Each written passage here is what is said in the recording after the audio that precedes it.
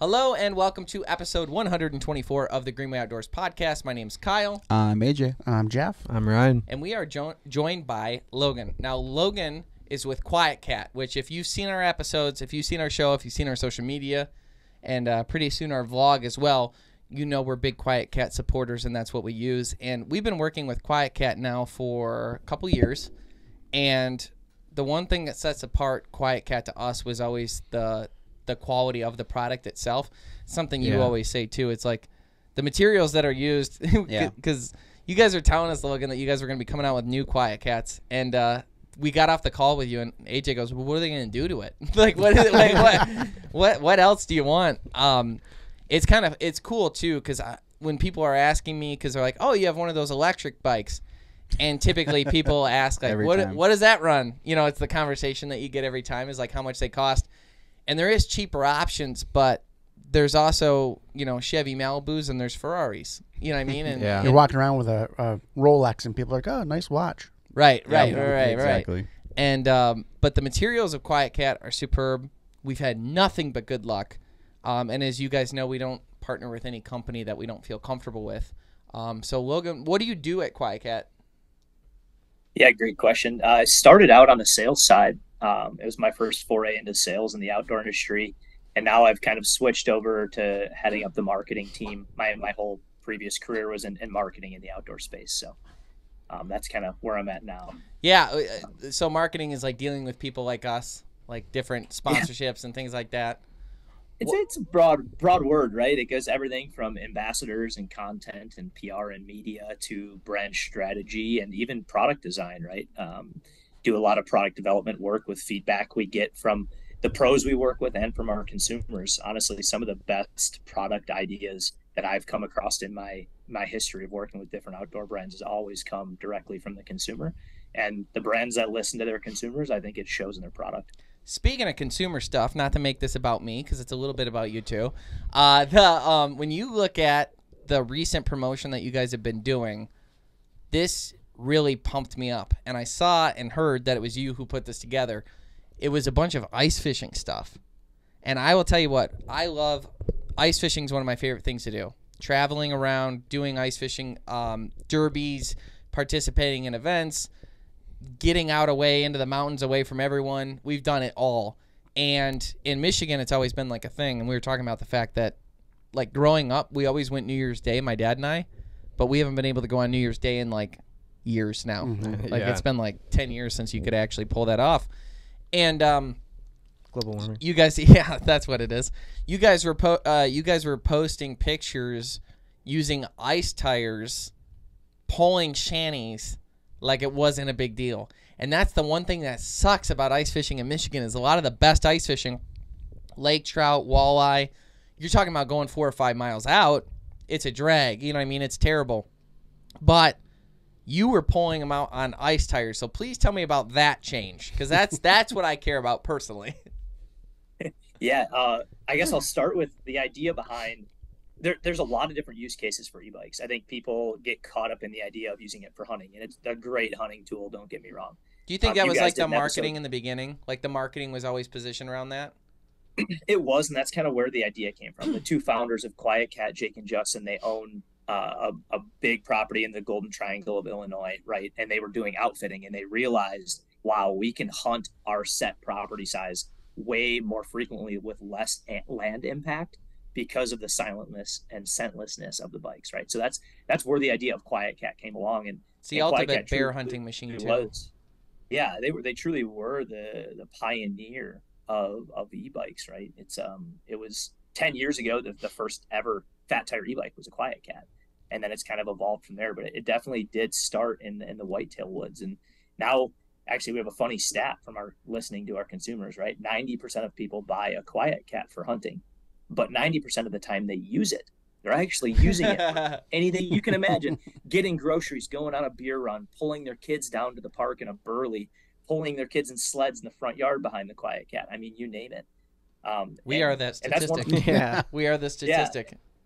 And that's one of my goals right is to tell this more of the stories about how we use these products right personally and just like you said personally you loved ice edge i grew up in northern wisconsin Um, that's kind of how I paid for college. I guided for ice fishing in the winter and I guided muskie fishing in the summer. And then, you know, I trap a little bit in the winter and that's how I paid for school. And, you know, first thing I thought of when I saw an e-bike is early ice because you can't use a snow machine. You can't use a four wheel ice isn't thick enough yet. And that's when the best fishing is. And so you want to be out there hole hopping. You want to be out there ice trolling. And so, yeah, throw studded tires on those bad boys, put some bar mitts on there so your hands stay nice and toasty, and go pop 100 holes in a day and just go stay on the fish. And so we just did a QuietKat short film on that, and I think it's going to turn out pretty good. We iced three monster uh, high country ice trout, and uh, it was it was really good. I can't That's wait to. Yeah, I'm pumped to see that. That's the thing, is what I always imagine too. Is a lot of the lakes Jeff and I would go to, there was always like a couple really good spots, and then one okay spot. So we normally just have to set up in one of the really good ones. Flag goes off. You know, you could set it maybe 20 yards away from you. That might be pushing it as far as like getting to it in time, uh, especially with what we were targeting. But now, as long as you can see it, you can do it. You know what I'm saying? And you could put that one down the ice a ways, have the bike like in the middle, hop on it, go down. It's that's everything. Yeah, that's everything because it really opens up having that couple tip ups in that one hole that otherwise wouldn't be able to. Mm-hmm. The other thing is one of the favorite things we do is we like to go like we'll get Airbnbs and stuff on lakes where it's like on the water. So you'll set up tip ups while you're inside. So you park that bike right on the back porch and just be set to go, you know, pop on your boots and be out there in 2 mm-hmm. seconds. Yeah, it's just you can get there so much faster and it's cool. Those uh, the studded tires will also help because I would say every trip we go on, at least one of us falls once when we're like flag, flag, flag, flag, and we got to get there. Someone falls. Well, if you can just get on your e-bike, and, you know, How, what did the studded tires it- run? it worked way better than I thought it would too. Like I, I did a little bit of motocross racing and stuff as a kid, and we'd always throw studded tires on the dirt bikes. But Sure. the studded tires on the dirt bikes are like full on screws, right?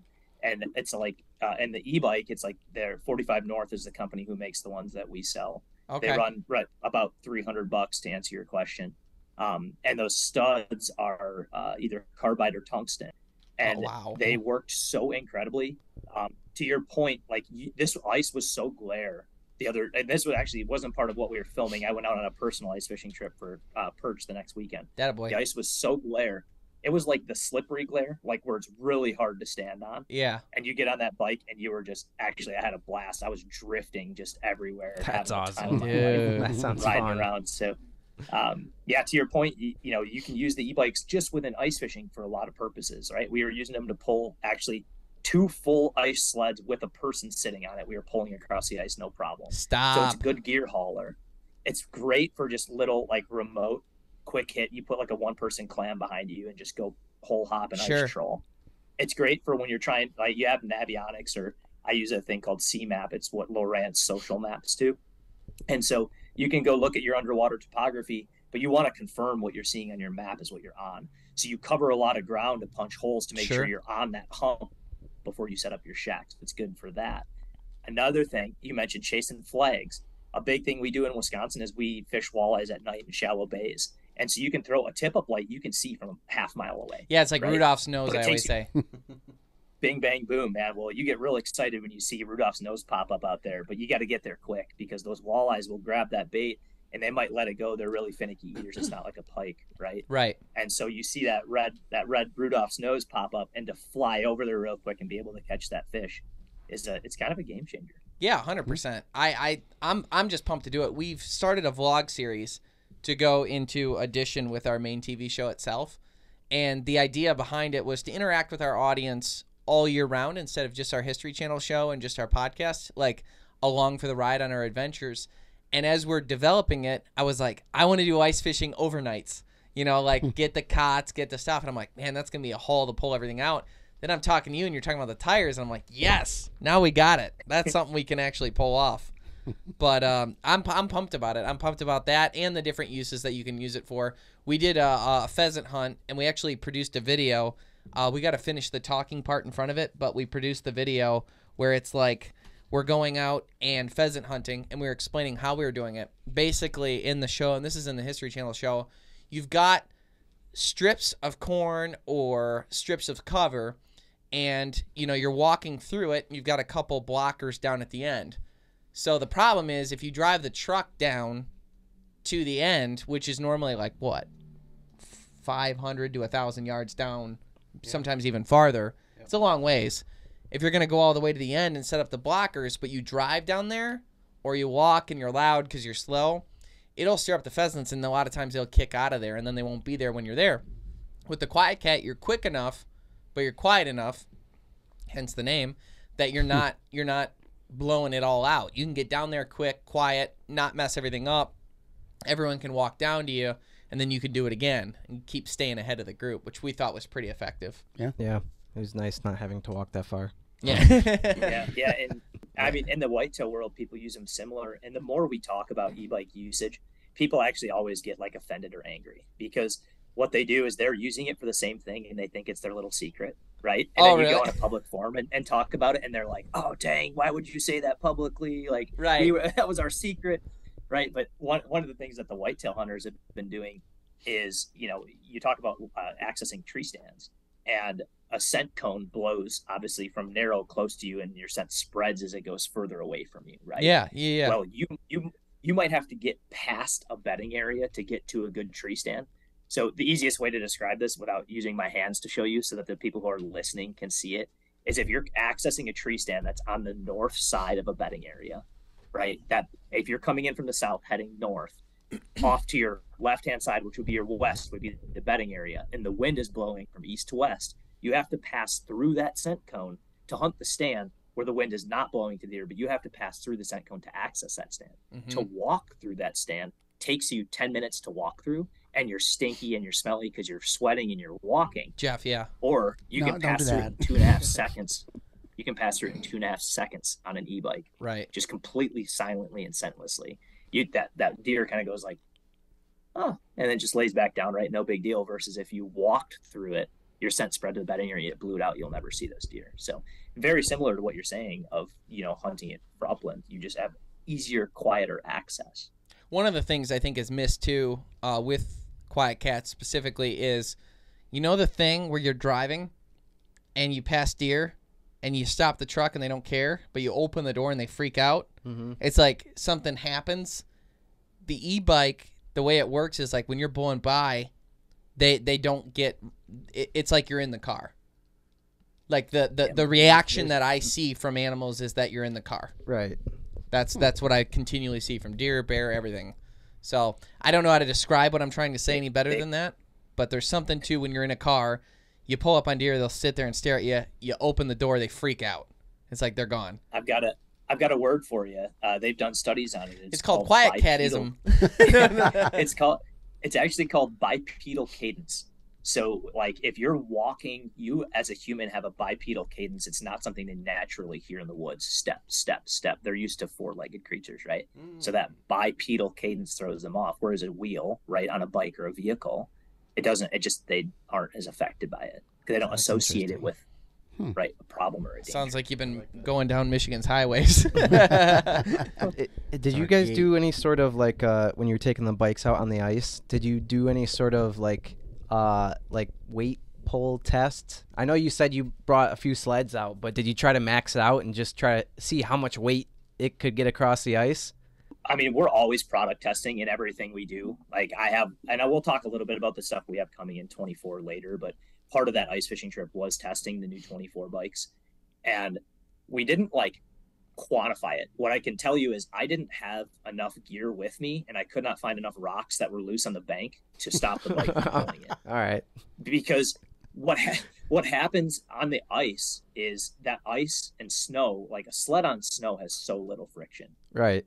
right? And and the weight is not on the bike itself. So there's no like max load worry on the bike. It's only what the bike can pull. Mm-hmm. And when it studs to ice, pulling something as little friction as two sleds and a couple humans hanging on a sled, it was like easy. Like easy, easy. The butter. That's Yeah. nuts. So it's a lot about. like pulling our trailers, right? Like that wheel has such a big advantage from from pulling. Um, now, what would be what would be fun is like to do like a truck pull test, right? Where you have like a weight, like a forty-five pound um, like dumbbell or you know forty-five pound plate from a gym, and just drag it across the ground, and to see it would be fun to see like what it could pull. Well, it's like with the vlog. I'm thinking now it'd be fun to like He's get hijacking my vlog. get get some ice skates on and, and tow someone around and start just ripping around a lake. That'd be pretty fun. Mm-hmm. Yeah. We did AJ it skates? yesterday. We did a w- yeah, we did a fun winter photo shoot at work. Just like, hey, again, how do people use these bikes that is not hunting related, right? And so we did a family photo shoot day where we were pulling kids on the sleds, we were pulling people on ice skates, we were just drifting around on the ice, just out there hooting and hollering and having. That's awesome. Yeah, pulling people on skates. If I had to like, and this isn't an exaggeration, with our new 24 bikes, if you had studded tires and you were on glare ice, you could probably pull like hundred people that were on ice skates because there's no friction, like zero. So you could you could just pull.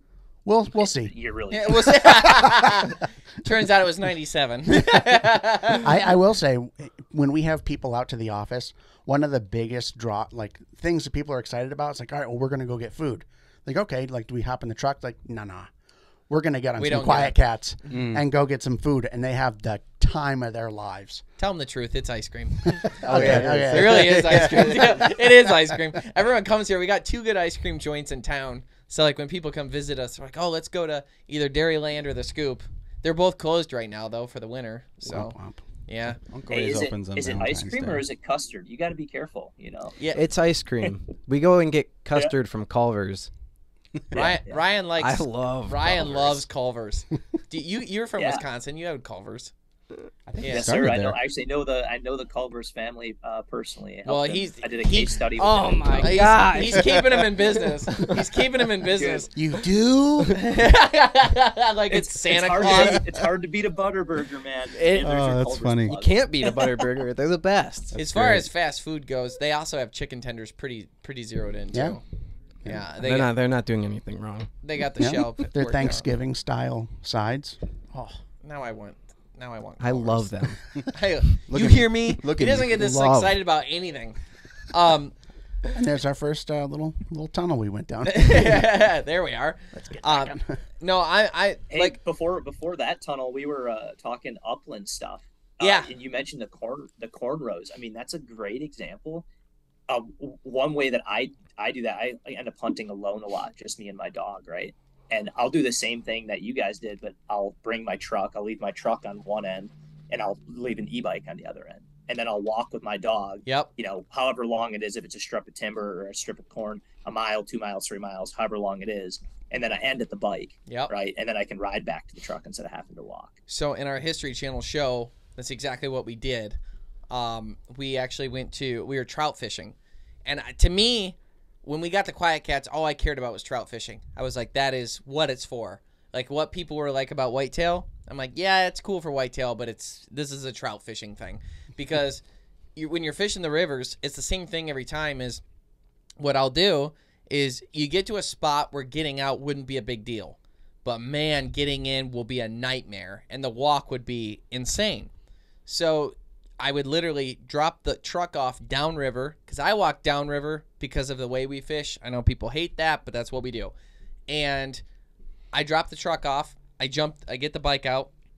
I'll go a mile upstream, which doesn't sound like a lot, but it takes a long time to fish a mile. We learned that the first time at our pace. yeah, because I, if I, there's a fish in a hole, I have to cast until he dies or I do.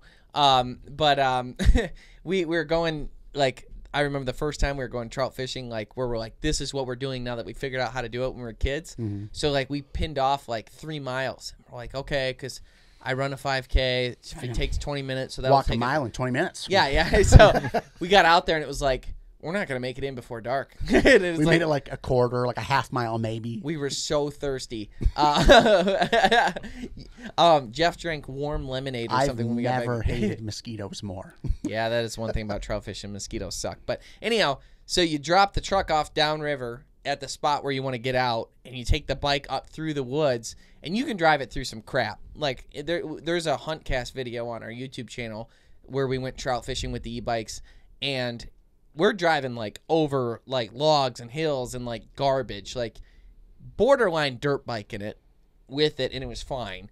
And then to get all the way back, then you hide the bike off the trail. If you're Ryan, you spend a half hour blending it in and everything else too. You But can, the someone's camel gonna come. ones, you can put them in the grass and the ferns, and then I go grab other ferns and stick them in the spokes.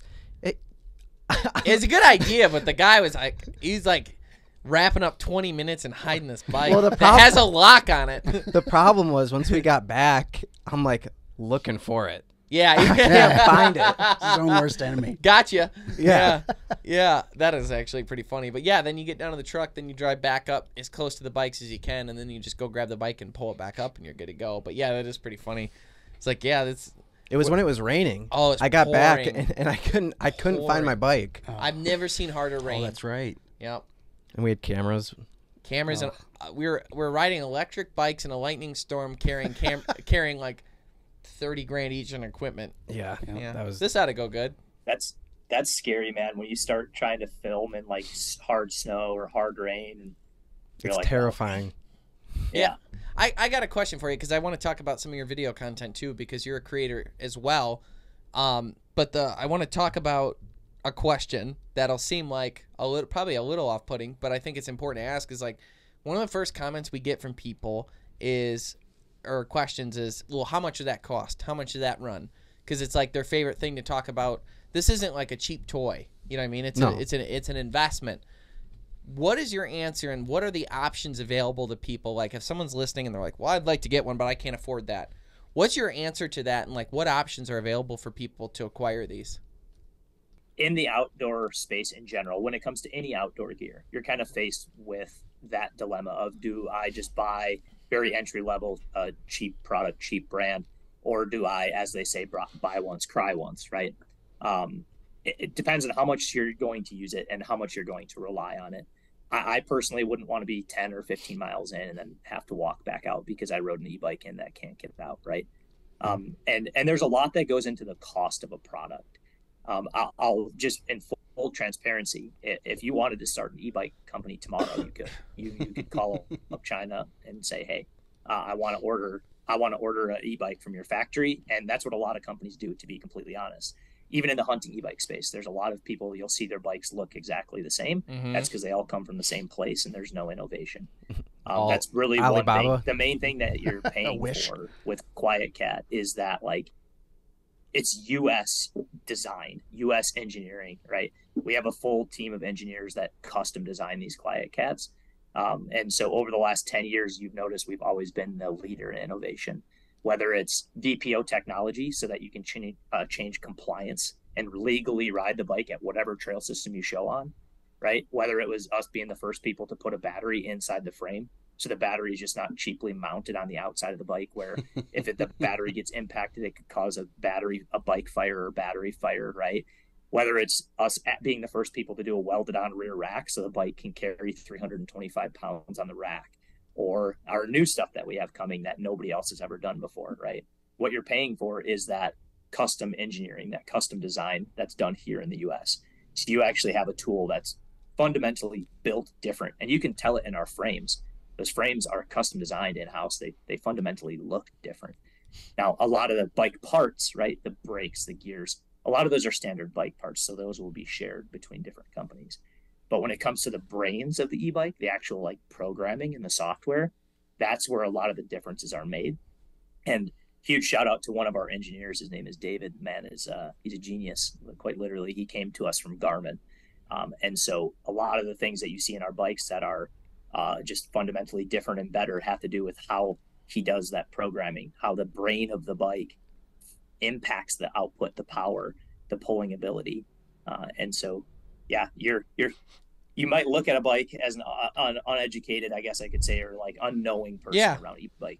So you'd be like, oh, that bike is the same as this bike, and they might look the same even. But if they look the same, doesn't mean they perform the same. A lot of the stuff is in, in the brains. It's in the software and the programming. what are the options you guys have for people to acquire them aside from just paying them like financing options those sorts of things Yeah, of course. Yeah, there's financing options through different retailers and through our website. Um, and you know, you don't have to get into the Apex. You don't have to get into the creme de la creme. You can get in a, a Pioneer or Ranger level bike, right, which is going to run you around two grand uh, new, two grand, three grand new. Um, and then all the way up to our high end Ibexes and Apexes, which are in that five, six, even seven range. mm-hmm. Um, the one thing that I recommend is go out and find somebody who has one. Right. The only thing, as out west, as they say, the only thing better than owning a horse is having a friend who owns a horse. yeah you you find a friend who's got one, go ride it, figure out what you like, what you want, Um, a lot of people can get by with that hub drive motor that only costs you know two three grand for the bike, and then you get to start having all the fun, which is putting your accessories on it, right, and using those accessories to customize that bike for what you're looking to do with it. Absolutely. I, I, I that was just one of the things that I wanted to touch on because it's something you run into is people like ah, if you look at the different financing options that you can find like at Bass Pro that you can find at uh, um, you know on your guys' website and stuff, they become pretty affordable and they're kind of worth it. I'm not going to do the cup of coffee thing. It's five hours a day. And I know, right? it. Yeah. Jeez. But, uh, For just the cost of it. Well, and it's like too, like if you think about it, in this, like someone like me, a motorcycle, you could buy a pretty decent like enduro or, for like two grand, or you could buy this thing that's virtually zero dollar upkeep, no fuel or anything, Right. and you can tuck it away. You don't have to have a garage no or a shed for it. You can just, it's so small, you can just Yeah. put it away. And the le- the legality thing too. One of the things he touched on was in the hardware, you can actually change what the bike is capable of doing inside the screen. And I'll dive into that a little bit. We're in the Florida Everglades and we were hunting pythons, and where we were, you could only have a, I believe it's called, is it um, Series two or Type two? I think Type two is the word. Um, uh, Type two bike, which means it only has X amount of capacity, meaning it's it's kind of a lower version. It's not as fast. The top speed ends up being like 20 as opposed to like 35. Um, and that's all they'll let you use in there. Well, if you buy an e-bike from another company, for the most part, you're gonna pick up one, and again, it's QuietKat who innovated all this, but you're gonna pick up one, and it's like if it's not a Type Two, then you can't you can't use it there. And the problem is, you don't necessarily want to buy a Type Two because sometimes you bet people hundred dollars that you go 35. You want to prove you can go 35, so you want you you want won't make the jump if you don't go 35. yeah. you want the huspa sometimes, and uh, being able to switch back and forth legally is, is pretty darn cool. You know, you can lock that in Yeah, place. we're we're still the only ones that have that legal capability switch. I think one other company is trying to copy us, and they figured out how to decrease the power, but it's not legally decreasing the power because it has to say on the display class one, class two, or class three, and that does include you you alluded to pedal assist versus pedal assist and throttle, and then speed. It's a mixture of playing with those things to stay legally compliant. The Green Way Outdoors is brought to you by Ram Trucks, built to serve. Bass Pro Shops and Cabela's. Your adventure starts here. Savage Arms, better comes standard. Nosler Ammunition, world's finest bullets, ammunition, and brass. Boss Shot Shells, superior made and American made. Carlson's Choke Tubes, the only choke tube we've ever purchased. onX Hunt, know where you stand. If you want to be here, it all starts here. At Bass Pro Shops and Cabela's, we have the widest selection of the quality brands you love to get you outdoors. Whether you're a seasoned pro or just starting out, our friendly, knowledgeable outfitters will help you find the right products for your next trip. Shop with confidence with our low price guarantee. Plus, club members save even more on great gear with exclusive member pricing. Bass Pro Shops and Cabela's, voted America's best outdoor retailer.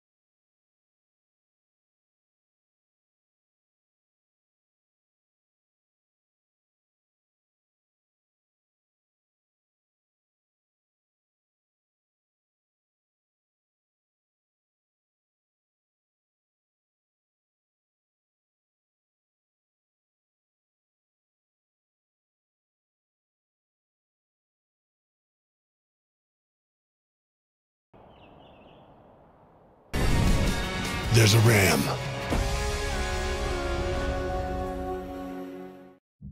Legends aren't born, they're created. Introducing Impulse from Savage, the all new American made straight pull bolt action rifle.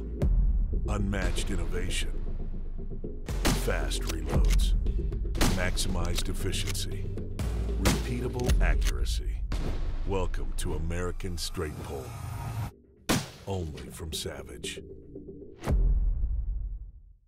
I have two things. One, riding them through town is really fun when you're going through like a 25 mile hour p- speed zone. Yeah. and you're like just blasting You, past. you gotta watch your speed because you're speeding. Yeah. Yeah. Um. Not that we do that, you know. And number two is a question. I don't know if you're allowed to answer it or how this works, but the the batteries come out of the QuietKats. They're obviously very powerful batteries. Has there been any discussion about kind of um, dual purposing those batteries for plugs and I other never bring a phone charger. It's on me. I just I'd, I, we need to have you on our product development team because I've been saying the same thing, and yes, it's something we're working towards. Um, I'll, I'll tell you that we even kind of took it the next step. Um, I can't uh, I can't give you too much more insight, but uh, with the 24 bikes, there's going to be all kinds of what I'll call uh, alternative power options. Oh, that's uh, When it comes to Nice. not only the bikes but the, the, the batteries themselves. we get all the way out there for like a two day uh, camping trip. And, and all of a sudden, we all go to get on our bikes. There's four of us, and we should all have about eighty percent left. And Jeff gets on his, and it says four percent. We and all he goes, charged our "Oh, stuff." we all been charging our phones again." oh man, sorry, Jeff. We've all been charging our stuff of it. That's Uh, Well, yeah, the other thing too is like I just bought a uh, a diesel heater. Like they make those little like briefcase diesel heaters, and we were gonna use it ice fishing.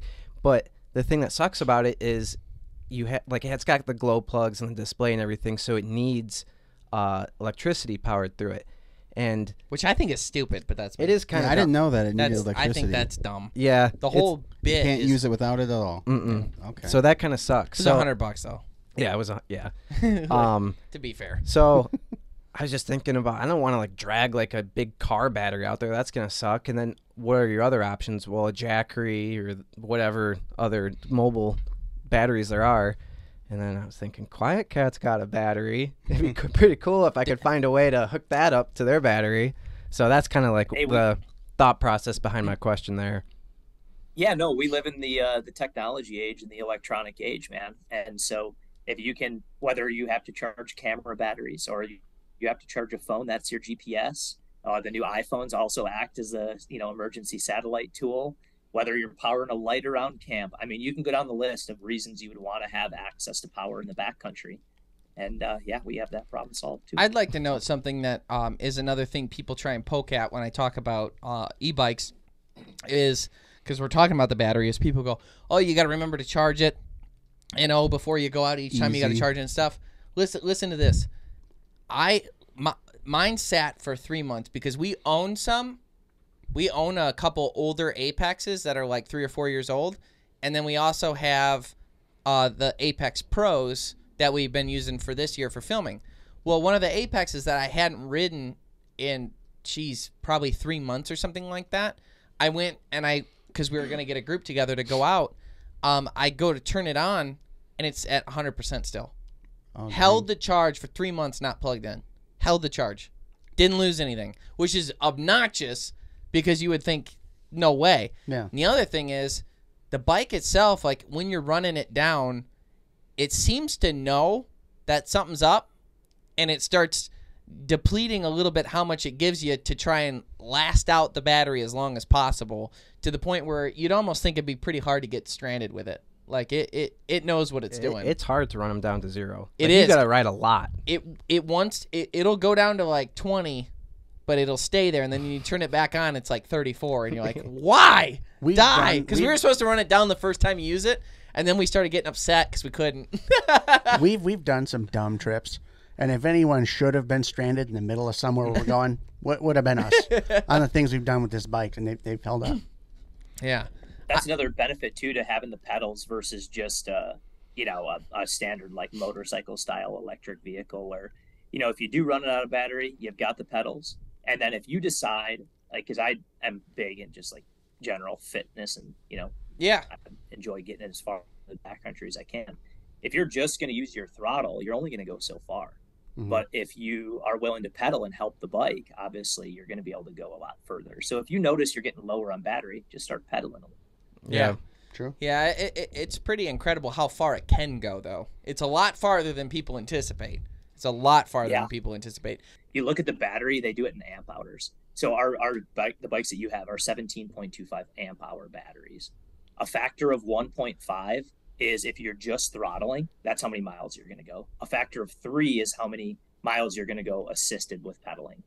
And so I don't want to give away too much. I'll I'll say this about our 24 bikes. We have effectively doubled the size of our battery and the distance. That's what, that's what I predicted. Current bikes that you have are. Well, because we, So with the hardware couldn't Yeah. get like the actual bike itself, like the frames and the qualities couldn't really get any better. That's what we were like. What the hell are they gonna do? You know what I mean? yeah, so you're at a 90 mile distance now uh, with the new batteries, which is just absolutely crazy. Um, so crazy. and and then yeah there's a, there's a there's four there's four other things and two of them are major fund fundamental mechanical differences i can't i can't talk about it just yet but you'll You know we're gonna Ohio. roll those Yeah. yeah we're gonna to roll those bikes out here in like march or April. I was just gonna ask when when are we gonna get to see them? Because that's Yep. pretty. march th- march 13th is the day we're going to unveil all the stuff and then they'll be ready for pre-order in april Oh, that's, That's so cool. sick.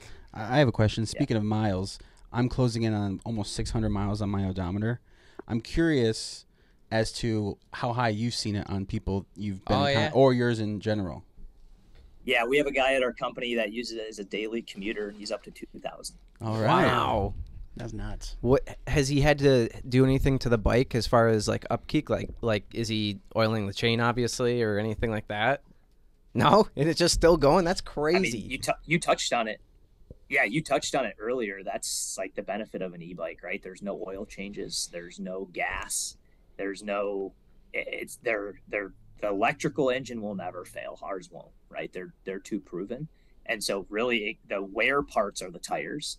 Um, after five years, roughly, you know, a new battery.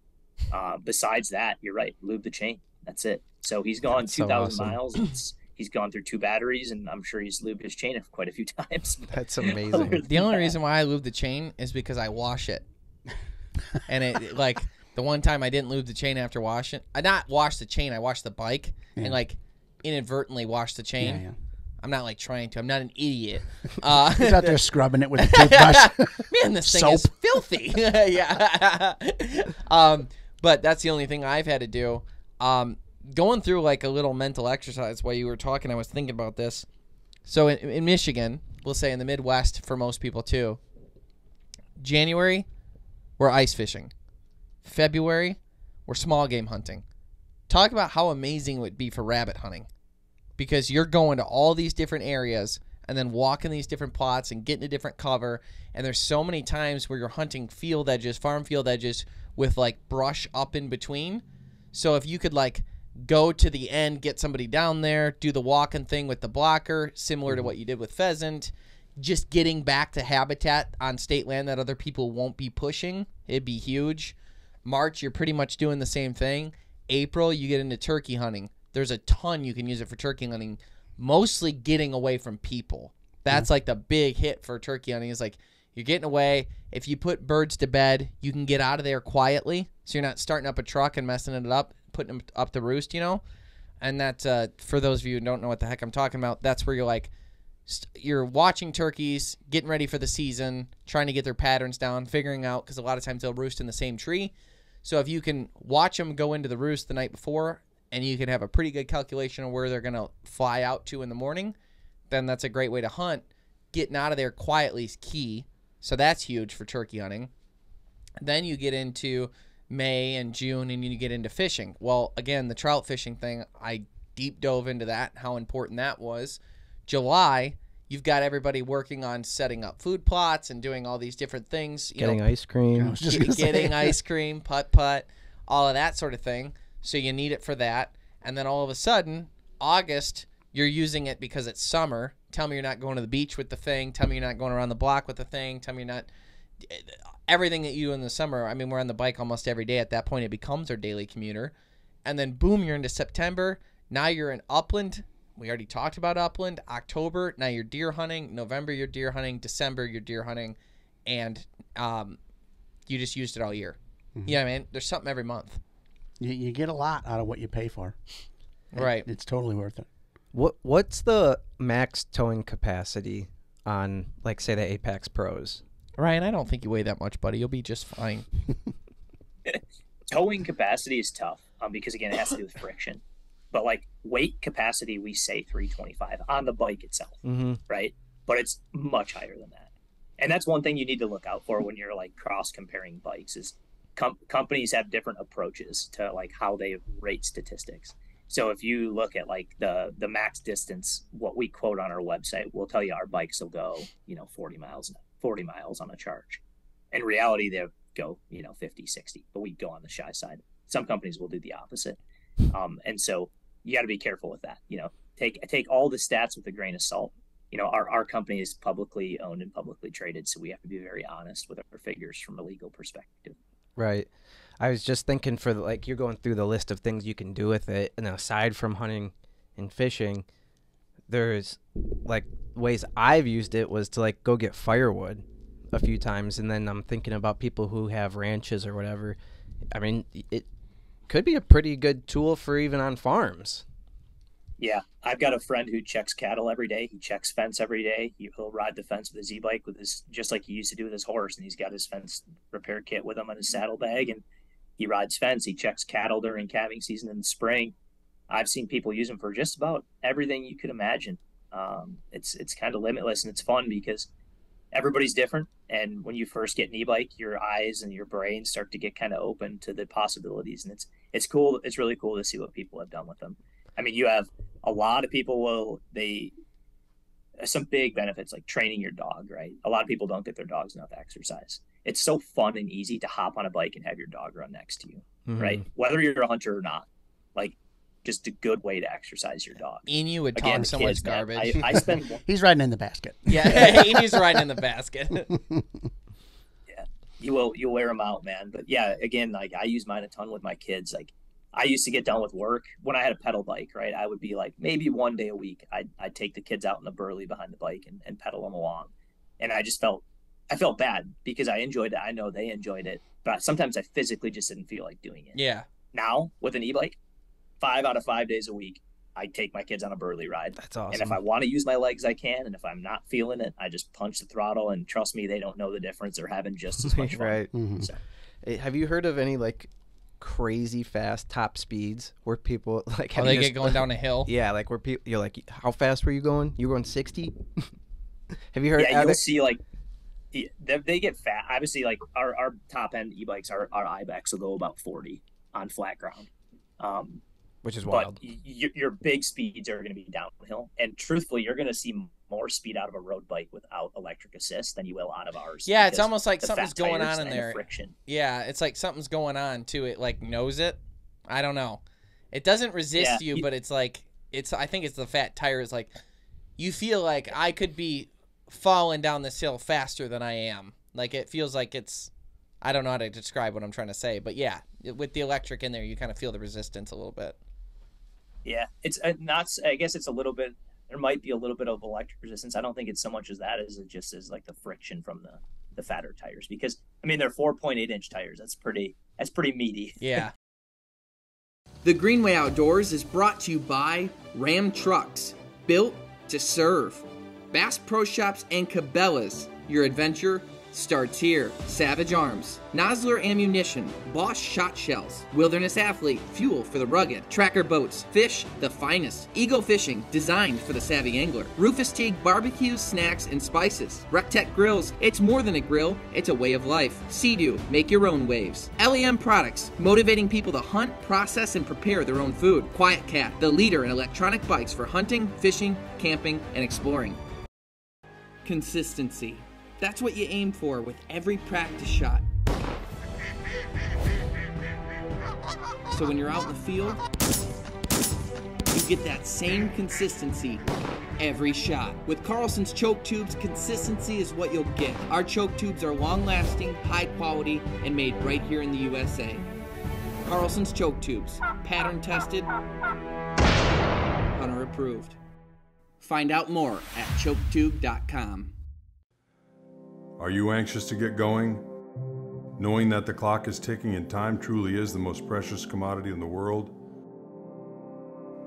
Then you, my friend, are in good company.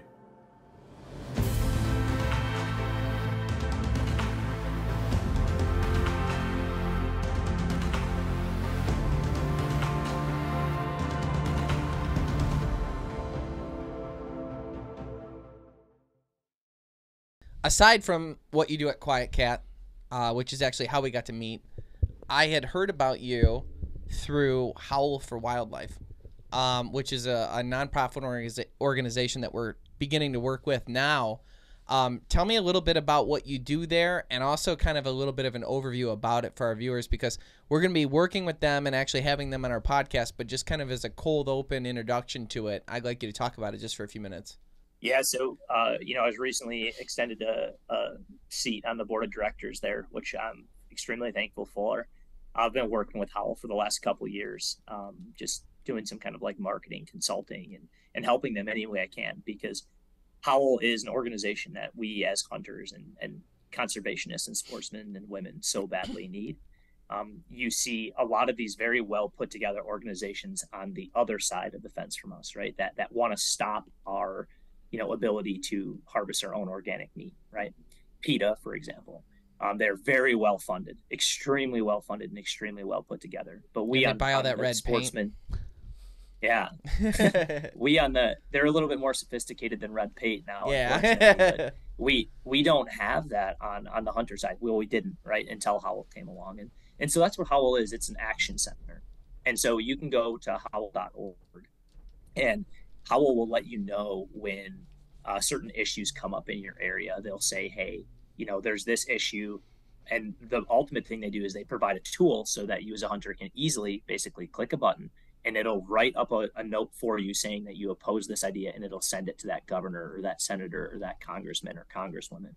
And so it allows the voice of the hunter to be heard. That's essentially what Howl is. It A lets you know what's happening politically. So and it informs you about it so you can make your own decision on whether or not you want to oppose it. And then it gives you a tool to fight back against it. In my own state of Colorado here, right, we we had the reintroduction of wolves that got passed that got passed by 0.5%. That is, I it makes the hair on my body stand up because I grew up in northern Wisconsin with wolves my whole life. I know what they do to wildlife populations and what they can do to humans. Right? It's kind of terrifying. Um, and and that got voted in by 0.5%. And the reality is, is if the hunters would have shown up on vote day, that wouldn't have happened, and they didn't. And so Howl's goal is to make sure stuff like that does not happen. Right? And right now in Colorado, we have this ban of potentially the, a, a trophy hunting ban, right? The, the, idea of banning hunting altogether for certain species like you know mountain lion and, and bobcat, um, and how they structure that, right? How they position it on the other side is very frightening, right? They when they wrote that bill, they titled it a trophy hunting ban, and as a general person, you say, oh yeah, trophy hunting's bad, right? Well, the idea is it's not a trophy hunting ban. It's a ban to hunt, stop a certain type of hunting, and that's cat hunting, right? And they even went as far as putting the lynx on that. The lynx is endangered and you can't hunt it anyways. So they do all these sneaky little things mm. to make this bill seem to the general public, we call them the non hunting public, right? Um, they, they do all these little sneaky things to try to get people to vote on it. And then it ends up passing, and next thing you know, we can't hunt. Yeah. And I, I think what's so cool about the program from its like, as someone's like, well, how do they do that? Um, because when I look at a lot of nonprofit organizations in the industry, you see things becoming very corporate and things very slow to turn and slow to happen, right? So what I like about Howl is like if you were to get down to the finite details of it, they're like, well, how do they do that? If you became a member and you signed up, what's going to happen is when these initiatives take place, because he said like the hunters didn't show up, right? well, the way that they would get them to show up is the people that sign up for Howl would receive an email and say, "Hey, this is what's going on. This is what they're trying to put in place. This is what we don't like about it. Here's a way to contact these people directly, to have a letter sent to them, so that you can tell them that you feel this way about it." And that's how real things happen. People say, "Well, why does a letter matter?" Well, elected officials receive the letter and all of a sudden now they're rece- receiving thousands of them all saying something similar i hate this i hate what you're doing they know they have to get votes in that area those letters make a big difference and technically you may not believe this but elected officials are supposed to do what we tell them to do because they work for us i don't know if you have heard that or not so um, that is kind of like the boots on the ground how they're connecting the dots to get people involved Howl does other things but that's how they would connect. And if you become a member of it, then you get to become a fighting force of it. I'll add there too. To become a member is nothing. It's it, there's a free membership. So if there's one takeaway from this, everybody who listens to this, go to howl.org and be a free member. There, there is a, a, a paid membership too, uh, where you get access to discounts on different industry things and stuff like that. But at least go be a free member so you get notified. And, and then one more thing I'll add on to what you're saying, Kyle, is those elected officials, right? A lot of these issues, like the wolf issue in, in Colorado, for example, that was ballot box biology. And the fact that it got to the ballot is ridiculous. And if we would have been proactive and those letters would have went to the governor, it might have never hit the ballot in the first place. Right. It might not have ever been voted on. And that's the whole point, right? That's where it actually fundamentally physically makes a difference. A hundred percent. Yeah, it's uh it's an interesting uh, organization, and we're gonna be doing more work with them in the future, and uh, I'm pretty proud of it. I, th- I think it's awesome. Another thing, Kyle, too, it, I think that separates Howl a little bit because there's a lot of not-for-profits out there, um, and they do great work. They do great habitat work, right? The RMEFs, the NWTFs, there you go. NWTF. they, they put they put a lot. Yeah, and you can go down the list of all the different acronyms they call them, the acronym groups, but the DUs, uh, the TUs, uh, they do great habitat work. But that's what they do. They do habitat work primarily. We don't have a legislative group in the hunting space to represent hunters. Now we do, right? And that's another benefit is because we're not Howl is not doing habitat work. They are getting all of these acronym groups together. We're unifying them because the reality is we can't be separated or segregated.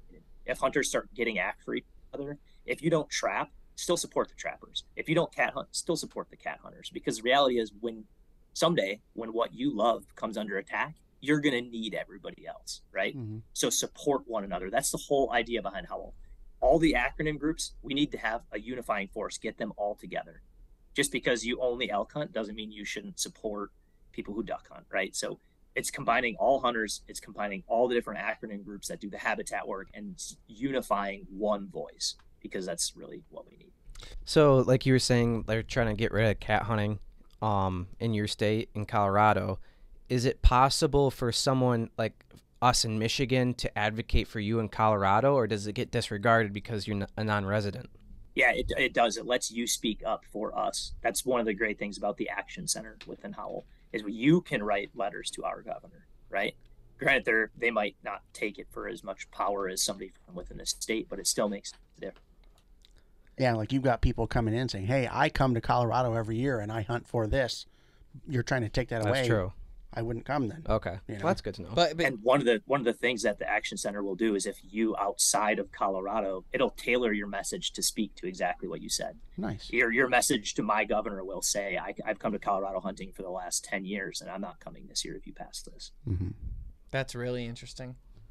That's really yeah, and you can go in and tweak the letter and make it anything you want, add, subtract anything to it in order to customize it. Um, couple notes I want to make. Um, there are organizations in the outdoor industry that technically were sp- supposed to be doing legislative work, but a lot of them ended up being, and I'm not going to talk about anyone specifically, but they ended up being more of just like whistleblowers or, or screamers, or they would just call attention to the problem. And that was something that, like, growing up listening to Ted Nugent and us getting to meet and hang out with him and stuff, he's always like, you have to get involved. You have to write your governor. You have to do that. And the problem was there was no organization that kind of finished the process properly, if that makes sense. Like, no one was like actually converting you into do it. And at the end of the day, we all lead very busy lives. Hunting may be my favorite thing to do, fishing might be yours. We may love these things, but we're also pretty busy, right? So, like, you might miss a law or you might miss something or you might not pay attention to this or pay attention to that. To have it be where you can sign up, have it streamlined and say, hey, this is the issue. If it's important to you, here's a letter that we think would make sense for you to send. Tweak it however you like, and this is where it's going to go. You just do it, press send, and you're good to go. Realistically, you're like four clicks away from advocating. Um, and uh, and taking your time if you want to, but you don't have to. You could literally just send the one that comes. Um, that's going to make the diff- that's going to pull it apart where people are actually starting to advocate again. And the other thing about the group is I think it will inspire people to be like once they're in the group and once they're seeing these things and they're like shit, we are under attack. It's going to inspire other hunters to want to be a little bit more involved in general in elections. And uh, you know, it's regardless of how you feel, I think you know, hunters voting is a good thing to the point where it's going to help convert people into um, the right officials being elected. I don't want to pick a side and say it out loud, but at the end of the day, we all know the side. So, um, And you hit the nail on the head. It's again, it's the unity, and uh, I think hunters by nature are apolitical, right? They don't want to get involved in politics. They they don't want like we're not one to like complain, right? But we need to change that mindset because the reality is, if you don't start getting involved in voting and being eh, like having your voice heard around what you want to happen, the other side's just going to run the narrative. They're going to run the story and they're going to determine what happens. And the next thing you know, the old slippery slope, you know, um, who knows, who knows where it's going to lead. I don't want to see that day. I, I want my kids to grow up with the laws and the system that I grew up in because I loved it. I wouldn't trade it for anything. And so I know that for my kids to grow up that way is going to take me getting involved. Right. Yeah. It's a it's a, the only place on earth left. You know what I mean? We lose this, it's it's we're like everywhere else then. Yeah. You know, only Yeah. only rich people get to hunt and you don't need your guns. They did a, a full Yep. ban on, It's on trapping in in California, and 50, 100 years ago, that would sound wildly foreign to people. Like that would never happen, you know. And all it takes is one or two generations. Some some people are removed, and now no one understands how it works, what it does. And, they, you know, And that's the point, right? They they want to chip away at it. They know that to take down hunting as a whole, they have to chip away at the little minorities first. First, they have to chip away at trapping because the hunters won't speak up for the trappers. Then they have to chip away at the cat hunters. Then they have to chip away at the rabbit hunters. Then they have to chip away, and then Aw. eventually, when when the trappers are gone, to not speak for the hunters, and when the cat hunters are gone and the rabbit hunters are gone, now they can just remove hunting as a whole, right? It's just a matter of chipping away at it. Uh, another thing that is really cool about Howl is because they are strictly advocacy, like legally focused. There's no group that holds a chest of money to fight legal battles, and that's what it. At the end of the day, it takes money, right? So, like in Colorado, for them to fight the the ban on cat hunting, they're going to need to advertise to the public to vote against that and why, right? That takes money. Everything takes money, and there's no pot of money that goes towards that right now. There's pots of money that go towards habitat work all over the place, right? But there's no there's no pot of money that goes towards fighting that. And that's another thing that Howl is striving to do. All of those membership dollars, they go towards advocacy work and legislative fighting. That there is zero dollars. Everybody that works at Howl, the two guys who started it, myself and the other board member, take zero dollars in pay. Zero has ever been taken by anybody who works there. It all goes back into fighting for what we believe in. It's actually not just zero. You guys are well in the negative. you guys are. I talked to John. Yeah. I talked Yeah, to John. John, You guys yeah. are. John, Yeah. Yeah, John, John is so he's so passionate about it. So much of his own money has gone to fighting these issues that you're right. It is so far in the red. It'd be a terrible organization to invest in financially. Yeah. Uh, but but it is important. Because We'll if, stick with you know, Quiet we don't Cat for it, who's- yeah, yeah. And I mean, we have between different companies trying to help Howl and different individual contributors trying to help Howl. Again, I think it's important to know that your money is not going into paying the people who run it. It's going towards actual boots on the ground work. 100%, which is also pretty rare. You're rare. you're- So it's rare. you like making content too, and I'm excited to see the ice fishing video. But where can people find your other content, and what can they expect to see? Uh, first of all, go to QuietKat stuff, right? All of all of QuietKat's Instagram, and we're starting to build up the YouTube video where we're going to do the the QuietKat shorts, is what we're going to call them, and that's what we did for the ice fishing film. Um, so go check all that stuff out, and that was a work project, by the way, so that wasn't for any of my personal stuff. But um, you're right, Kyle. On a personal level, I've always enjoyed. Uh, I don't consider myself a content creator, by the way, so we'll start there. It's very uh, it's D level content, but A level hunts. That's what I like to say. Nice. So, um, yeah, I've got almost 200 uh, hunting and fishing videos up on, on YouTube that I've been doing for the better part of a decade. It's all self filmed, it's all public land, all DIY, uh, mostly solo stuff. Um, and yeah, that's uh, Holtz Outdoors is is my uh, Instagram and YouTube, and Do your um, kids it's, dig it's it? just like you guys. Uh, you know, they're a little little. They're two under two, so they're Oh, okay. sometimes wow. you know the daughter will be like, "Oh, daddy's on TV," and you're Yeah. like, "Well, kind of." Yeah. Not really. That's cool. That I it'll be interesting to see how they uh, how they dig it when they get older though. Like see, like to have all those adventures in the library. Sometimes we talk about too is like the best part of the show and the vlog series now and all that stuff is like we have this rolodex of experiences that we had together because it's all just best friends traveling the world filming. and then to be able to share that with our families and stuff later on, it's kind of like one of the cool benefits of it. I do think about that like one day when I have kids That's and I'm old enough to show them. What's the reaction gonna be? Yeah. Or is it or like your grandkids? You don't talk about it for you're just in a wheelchair crippled and you're like, I used to be on TV. hey, the, the old deathbed strategy, right? You talk about like a lot of self improvement or like how to make yourself a better person. They always like one of the things is, you know, picture yourself in your deathbed looking back at your life and how, like, if you can feel good about that, like you've done well, right? And that's what is really cool about having some of this stuff digitized is I think about some of the lessons that my grandfather taught me and some of the stories he told me, right? And I never believed him. It was one of those like uphill and into the wind both ways Sure. stories, you know? Sure. and for some of my uphill into the wind both ways stories it's documented now. So they're That's gonna awesome. have to believe me. Um, That's a good point. and yeah so i mean that's a cool part of it. And and kyle you know sharing it with families another big thing. The whole reason i got into it i started self filming again a decade ago way before it was popular. Um, and the whole reason i even started filming was i grew up hunting with my dad. Uh, he was my you know best friend and hunting partner. And then i moved out west and i didn't have him there and i i wanted to share these hunts with him and so I started filming these hunts. I didn't even edit them, and I um, I was sending him a thumb drive in the mail with the hunts for him to watch. And this is right as YouTube was getting started. And my friend was like, "Well, why don't you just put them on YouTube?" And I was like, "I don't want people to see where I'm hunting. Right? It's all on public land, so I just wanted to keep it a secret.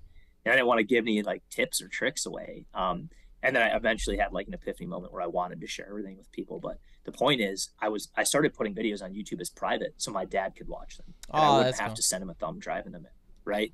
And then eventually, my friend's like, "Dude, why don't you just make them public?" And I was like, "Ah, whatever." And I, t- you know, flipped the public switch, and then it started to like grow, and and then I got started getting really positive comments from people. Oh, I never thought about doing that. Thank you so much. This helped, and now I'm, I'm shooting more ducks. Or hey, thank you so much for that tip. It made a big difference. And then it started the feel good started to come in. And I was Yeah. like, okay, I'm gonna start to help people as much as I can be more successful. Hundred percent. Nice. That's, That's awesome. awesome. That's super cool. That's like the most pure way to start making Yeah, it content. is. sure is. That's awesome. Well, And thanks. it's not good content. Don't get me wrong. but a a level hunts though.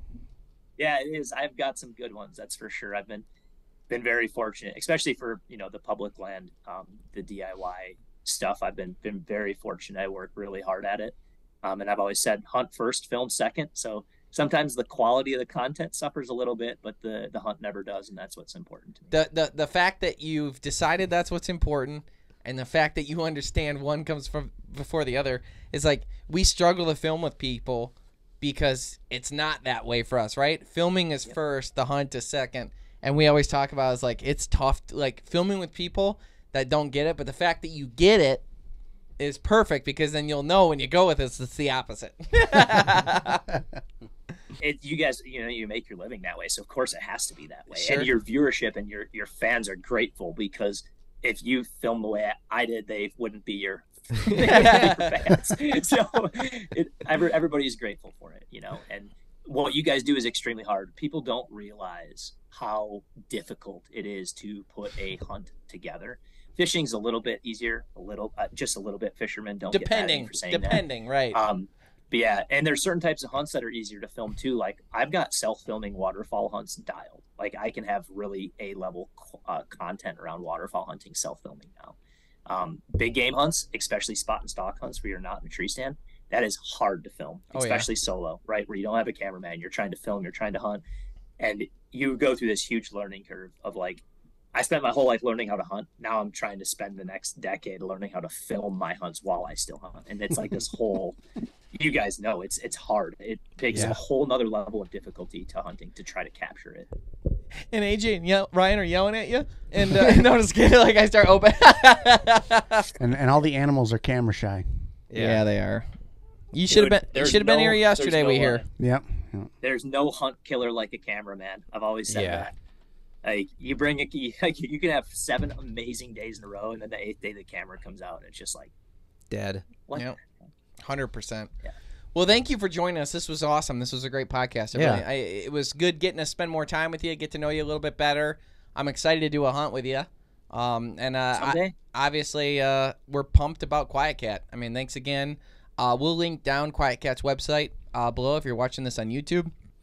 And uh, as always, Uh, go check out on historychannel.com. Look at the history streaming stuff. Um, you can find it on the app. You can find it on the website.